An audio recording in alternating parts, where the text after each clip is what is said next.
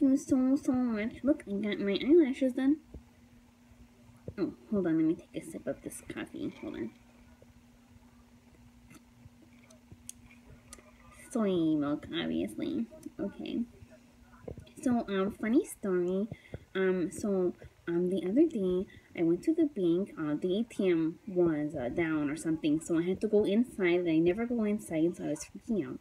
So I go inside, and the, this consultant um comes like right up to me, and he is like, "Hi, what can I do for you today?" And I was like, "Ah," because I'm a stranger danger. No, but so I tell him, I'm like, "Oh, I I need to withdraw money. The ATM wasn't working."